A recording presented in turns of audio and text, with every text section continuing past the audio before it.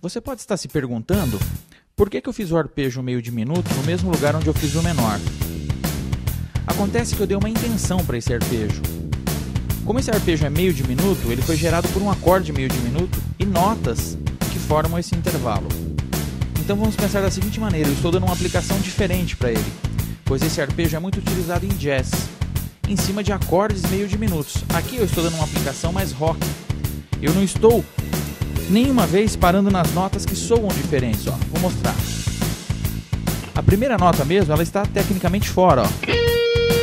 Porque ela é uma quinta diminuta e a nota aqui seria uma quinta natural. A tônica e a terça menores vão encaixar perfeitamente.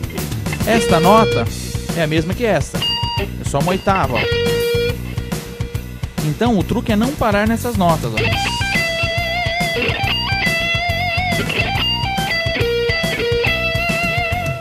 Ou você pode utilizar esse arpejo somente em cima de um acorde meio diminuto.